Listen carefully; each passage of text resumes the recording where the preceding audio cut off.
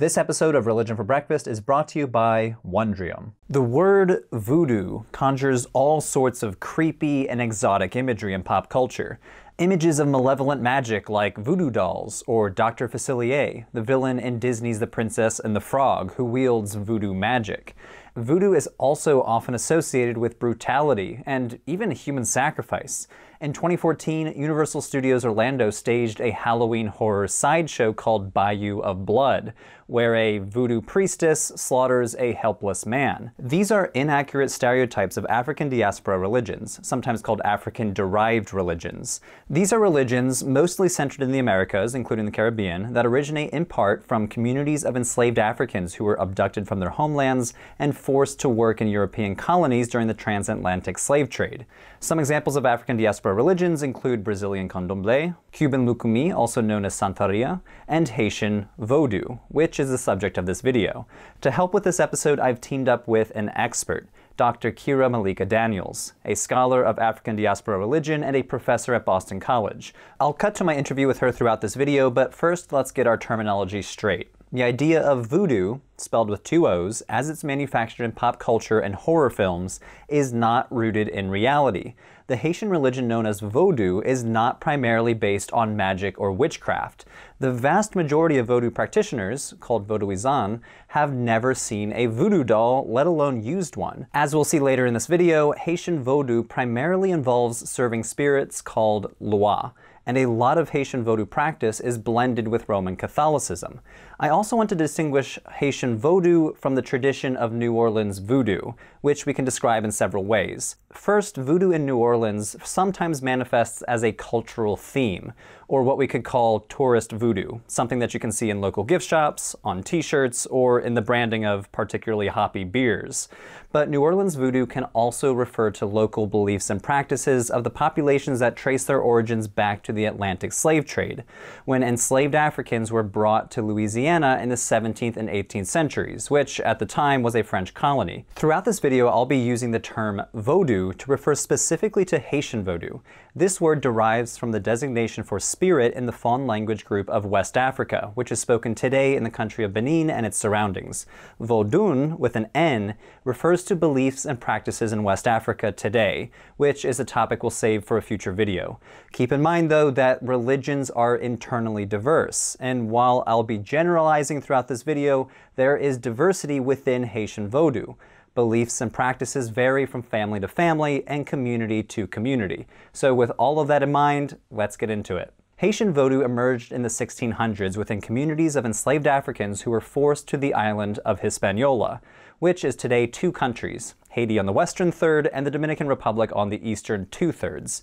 People from all over West and West Central Africa were forced to Caribbean plantations. Some of the largest populations that ended up on Hispaniola came from the regions roughly around modern day Benin and western Nigeria, including the Fon and Ewe people, as well as various Yoruba speaking ethnic groups. Congo communities from Central Africa also played a significant role in Haiti's demographic makeup. To this day, Vodou practitioners speak of their ancestral homelands in Africa as Guinea, and this is a major part of their mythology and practice. As you'll see throughout this video, many of the terms for spirits and practices within Vodou derive from African language and culture. France gained control of the western third of Hispaniola in 1659 and formed the colony Saint-Domingue. This quickly became one of France's most profitable and most brutal colonies, producing the raw goods that helped to build European wealth and infrastructure.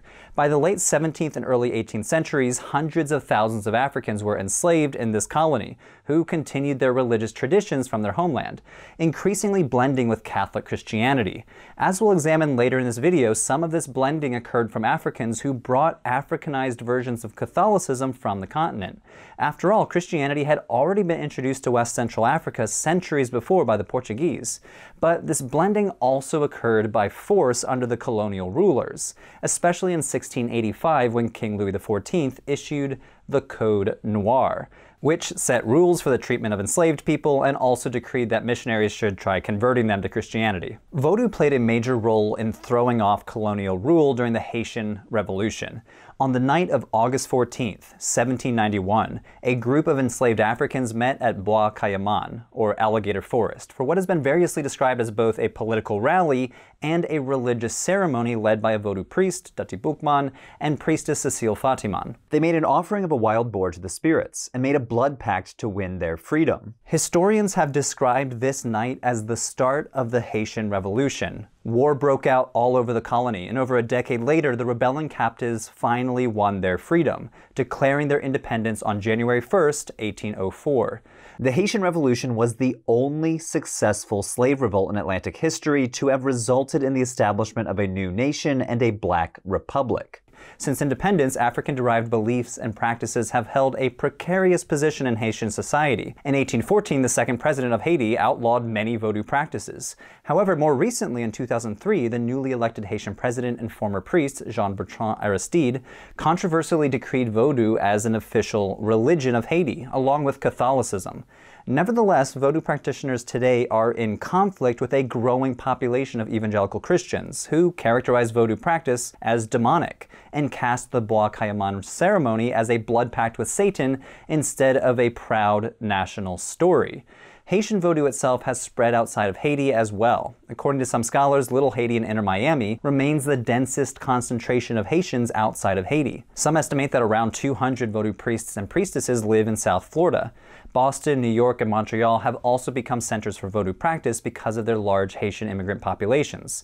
Some of these congregations have even been attracting converts from other populations, including practitioners of new religious movements like Wicca.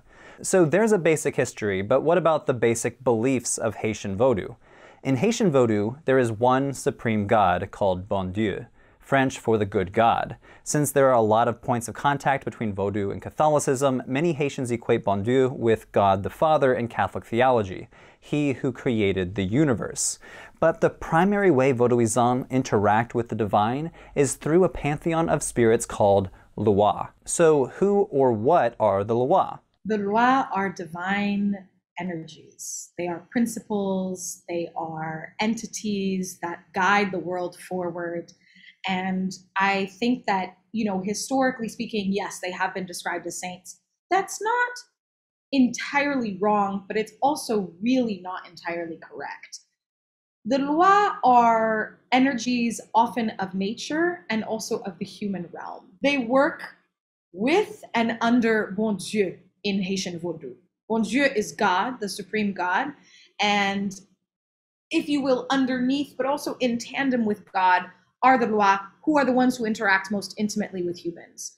People don't typically pray to Bon Dieu except to ask for just, you know, magnificent strength you know, in times of great desperation and need. Vodouisans are more often interacting with the Loa. And sometimes they will refer to them using different terms. And I think these different terms are really illuminating. So sometimes they'll refer to them as Saint the saints. Sometimes they'll refer to them as Misterio, as mysteries. Sometimes they'll refer to them as Invisibio, the invisible ones all of these terms are accurate. So the Loa are spirits, and they also go by other names derived from Catholic terminology, such as saints or angels. The Loa fall under several categories or nations. The prominent nations of Loa are the Rada, the Petwo, and the Gede. The Rada Nation are the ancestral spirits associated with Vodun spirits from Benin. Some prominent Loa in this nation include Papa Legba, the gate opener, Dambala, a spirit represented by a serpent who is considered a kind and loving spirit and often called upon for help, and Ezili Freda, a Loa of femininity, womanhood, sexuality, prosperity, and fortune. The Rada Nation of spirits are generally considered to be cool and serene spirits and are often associated with water rather than the more hot and volatile spirits of the Petwo nation. The Petwo spirits include some Congo spirits, such as Simbi, which derives from the word for spirit in the ancient Congo language. The Petwo spirits also include some Haitian born figures, including heroes of the Haitian Revolution that have achieved status as Loa. There's also the Gede nation, the spirits of death, fertility, and regeneration. The Baron Samedi is probably the most famous Loa in this nation, commonly depicted as a fancy skeletal man dressed in a top hat and a coat with tails. The Baron is the lord of the cemetery, also the lord of the dead, and his assistants are the irreverent Gede spirits. But there are, in fact, said to be 21 nations. Now, I love this because it's very difficult to ask somebody to name all 21 nations. There are some who have, but it's rare. It comes with great knowledge. Usually people can name about 12 to 15. And I would say that some of the most principal nations are Gada, Petwo, and then you have the Gede nation, which is also referred to as a family of spirits. These are the spirits of the dead and life, death, and sexuality. Then you have the Juba nation, the agricultural spirits. That's a much smaller nation. And typically we understand that these nations were linked, in fact, with African origins. So you have, for instance, the Wangol nation, which is Angola, and the Congo nation, which was ancient Congo. You have the Senegal nation. These spirits, when they come in ceremony, are said to speak Arabic. And they pray in a fashion on the floor, which I think is just fascinating and really reveals the way that these nations of spirits were serving as yes categories and families of spirits connected to different african lineages. And so haitians in the south i will note in particular because there are variations between northern and southern vodou but in the south especially you serve all 21 nations. And that's important because the idea is you're serving all of your african heritage. As you can gather from this discussion with dr daniels there are many loa way too many to mention in this video. But it's key to know that the Loa, also known as the spirits and as the saints, are central to Vodou belief and practice. So what about ritual practices in Haitian Vodou? We can summarize practice with the phrase serving the Loa, or Sevi Loa. So what does this mean? People can misunderstand it to mean I am a servant of the spirits. Not true. It is really about reciprocity. And that, I think, is fundamental to understanding Africana religions, both on the continent and in the African diaspora. When you enter into these relationships with spirit formally through initiation, you are devoting yourself to providing offerings, to reciting their names, to you know singing songs that honor their legacy, to maintaining the heritage that you have been instilled with. In turn, you will be protected by the spirits. You will be cared for by the spirits. You will be guided by the spirits. They will not leave you. They will not neglect you. And so it's a reciprocal and dynamic relationship. And that is essential. And we are meant to serve them, to honor them, to honor our African legacy and our African heritage and also to be guided and protected by them. So to say Mwasavi Loa is really about reciprocity. So serving the Loa encompasses a whole constellation of ritual practices that not only aim to honor the spirits, but also maintain a reciprocal relationship with them. Loa have favorite foods, favorite colors, favorite dances and music that you can offer them in ceremony. Typically, these ceremonies are held on annual saints' days, and in Creole, they're sometimes called a Fête Loa or a Fiesta del Santo by Spanish-speaking communities of Haitian heritage in Cuba or the Dominican Republic. These fête or fiestas or parties for the spirits invite the presence of the Loa through singing, drumming, dancing, and offering the spirits their favorite food and drink. Generally speaking, practitioners wear white for the spirits, but this can change based on the Loa being honored. For example, for those attending the November party honoring the Baron Samedi and his Gede, you usually dress in the colors black and purple and offer him spicy rum. Moreover, the dances and rhythms change depending on the spirit rhythms are associated with each nation and with each family of spirits. And some of them make a great, you know, they're quite intuitive. So for instance, again, going back to our Nago family associated with Yoruba spirits, our warrior spirits, their dance looks militaristic the you know motion the the rhythm itself is rather staccato like a, a, marching you know band if you will or a marching group of soldiers and it's militaristic movements. The movements for the water spirits specifically the gada water spirits look like you're rocking in a boat.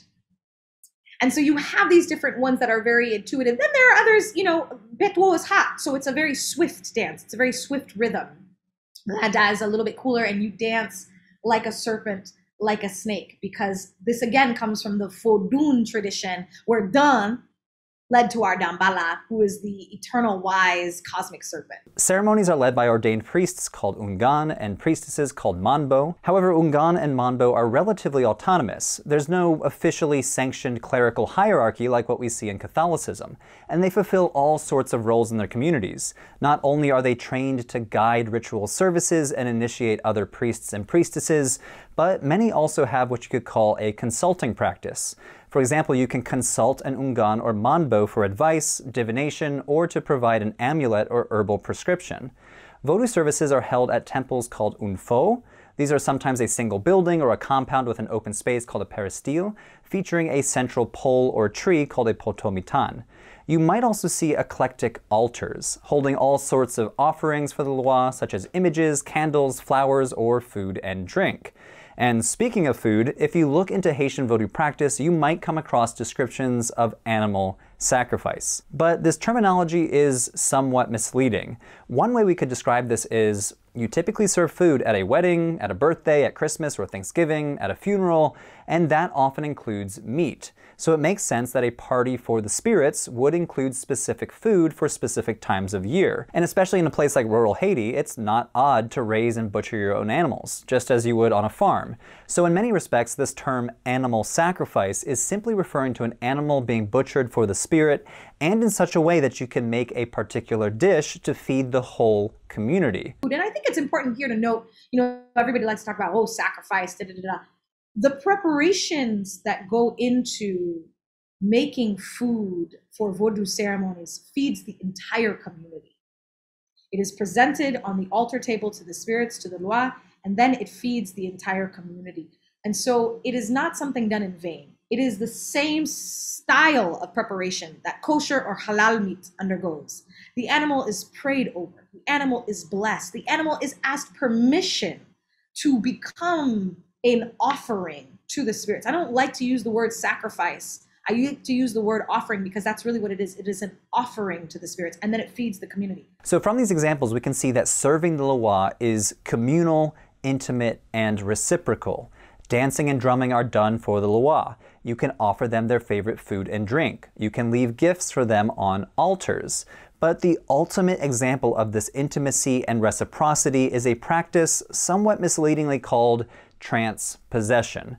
I say misleading because that word possession carries a lot of baggage from Christianity. In Christianity, possession usually refers to demonic possession, a demon invading a human body, but in Haitian Vodou, it's believed that during a ceremony, during the drumming and dancing, the Loa can be invited into your body. Rather than a negative bodily invasion, this is viewed as an honor. Vodou practitioners don't use the term transpossession. They use the analogy of riding a horse, or ritual mounting. The practitioner temporarily becomes a horse, or chwal, as the spirit mounts them. I really dislike the term trance. I really dislike the term transpossession. The term that we use is ritual mounting mounting. And it's the term that they use in Creole itself. And interestingly, in Yoruba, when people talk about mounting, they use the word in Yoruba that means mount as if to ride a horse. So in Creole, same thing. Monte. The spirit mounts its horse. Sometimes many spirits come at once. That means a, a ceremony is very hot. That means the drums are working. The songs are working. The dances are working. So in ceremony, you can have spirits come and they'll deliver messages you know, you need to be more respectful of your mother. You know, you need to offer us blah, blah, blah, blah, blah, blah, blah. You know, what you should do is da, da, da, da, da, da. Make sure that you da, da, da, da, da. So this is what I mean by communal and reciprocal. Mounting by a Loa plays an important social role that involves the whole community. Devotees invite the Loa to visit to honor the community with their presence. In return, the Spirit communicates with the congregation, sometimes by performing divinations, healings, or offering advice. Once the Loa arrives, as far as the practitioners are concerned, the person mounted has become a vessel for the Spirit. The Spirit has temporarily pushed aside the human soul to make room for the Spirit and everything the person does is the spirit acting or speaking through them. Now, not all ritual mountings are the same. Zaka, the patron Loa of agriculture, is thought to be a rustic peasant. Thus, when someone is said to be mounted by Zaka, they act and speak like a country farmer.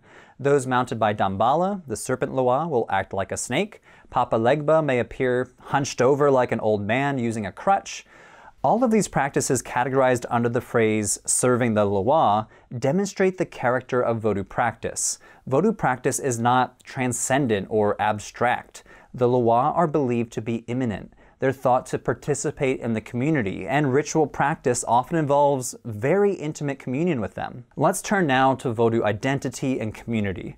As I said earlier, practitioners are called Vodouizan. I've also seen it anglicized as Vodouists, but your average practitioner might never use those terms. Some might, but others might just say, I serve the Loa, and of course I'm a good Catholic. Vodou practitioners generally see no conflict between being a good Catholic and also a devotee of African derived religions. And we see this blending in Vodou practice as well. Catholic prayers are recited at Vodou ceremonies, including the Our Father, the Hail Mary, as well as the Apostles' Creed, usually a cappella without drums. The Loa are also equated with specific Catholic saints. Dambala is equated with St. Patrick, Ogu with St. James. Moreover, the Catholic liturgical calendar tracks closely with the Vodou calendar. Some Vodou practitioners regularly attend Catholic Mass, while many others only attend on big holidays, especially ones that involve an event or a pilgrimage. The biggest pilgrimages are held on saints' days, such as the biggest public Vodou event, Saut-d'Eau which is derived from the French word for waterfall. Celebrated on the yearly festival of Our Lady of Carmel in July, this festival regularly attracts over 10,000 people and involves a pilgrimage to a waterfall in central Haiti. On one hand, this blending with Catholic belief and practice is the result of long colonial history in Haiti, but this is not the whole story. Africans were already introduced to Catholicism in the 15th century, especially within the royal house in the Kingdom of Congo. King Nzinga Nkuwu converts to Catholicism in 1491. A year before Columbus arrives in the Americas, King Nzinga Nkuwu converts to Catholicism and becomes King Joao I. What is less discussed is that he then reverts to indigenous religion again. He goes back to his ancestral religion. But he has two sons who battle over the kingdom. These two sons battle over the kingdom after his death in the early 1500s, and one of his sons, to become representing indigenous religion, loses the battle to his brother who represents Catholicism. The brother has become converted, and in 1506, 1509, in 1509, King Afonso I converts the kingdom of Congo to Catholicism. What does that mean? That means that Central Africa has been blending Catholicism with ancestral religions for 500 years. What takes place is an Africanizing of Catholicism. So, Haitian Vodou, in part, is the result of the Africanizing of Catholicism, and Africa is central to Vodou identity and heritage.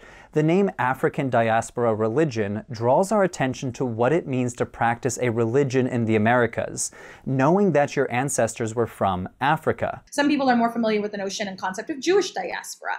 And so it's helpful to understand that diaspora very much is about memory. And so people who are in the Caribbean, people who are in Latin America, people who are in the United States, and who are involved in these traditions oftentimes are thinking about Africa cosmologically as an important icon. That's exactly what historian of religion Charles Long explains. That Africa serves as symbol, as metaphor, um, as homeland, not for every African descended community in the Americas, but for many. So, for the Vodou practitioner, Africa is not just a place, Africa is an icon, Africa is a symbol. Africa, in some sense, is a cosmological homeland. In future episodes, we'll examine more African derived religions. But in the meantime, I want to thank our sponsor for this video, Wondrium. You've heard me talk about the Great Courses Plus before on this channel. They've sponsored a few Religion for Breakfast videos in the past. Well, the people behind the Great Courses Plus are making big moves to create bigger and better educational content. Enter Wondrium, where you can find all the tried and true Great Courses Plus content, plus so much more. So let's take the Haitian Revolution as an example. So in the historical overview section on this video about Haitian Vodou, I basically covered 400 years of Haitian history in two or three paragraphs. I'm not particularly proud of that fact, but on Wondrium you can find lectures that will fill in all the gaps. They offer a whole lecture on the Haitian Revolution taught by Dr. Marlene Daut, a professor of African Diaspora Studies at the University of Virginia. And you can even find a new series on Africa's culinary diaspora, which examines how African cuisine dispersed throughout the Americas. On top of that, they have an excellent religious studies library. I personally endorse it. So they have series on Gnosticism, biblical archaeology, Hinduism, Buddhism, You name it, they have it. Wondrium is offering a free trial to the Religion for Breakfast audience, so head on over to wondrium.com slash religion for breakfast or click the link in the description below to start your free trial today. Thanks, Wondrium.